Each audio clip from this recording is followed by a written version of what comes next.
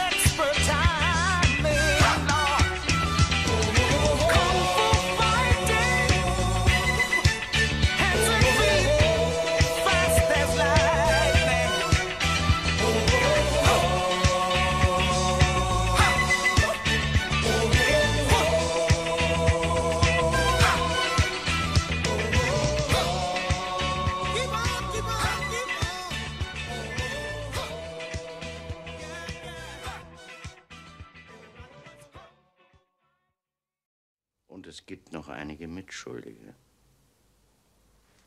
Oder?